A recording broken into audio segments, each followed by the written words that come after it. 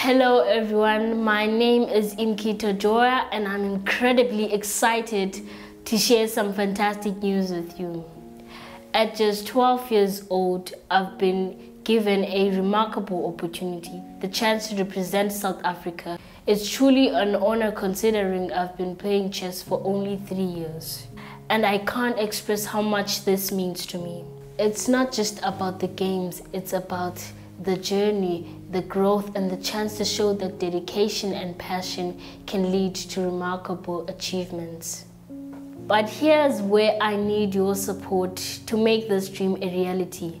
I'm reaching out for funding. Your contribution can make a difference, not only in helping me getting to the tournament, but also in paving the way for positive outcomes in my journey. Thank you for listening and considering being part of this journey with me. Let's make this a stepping stone towards greater things.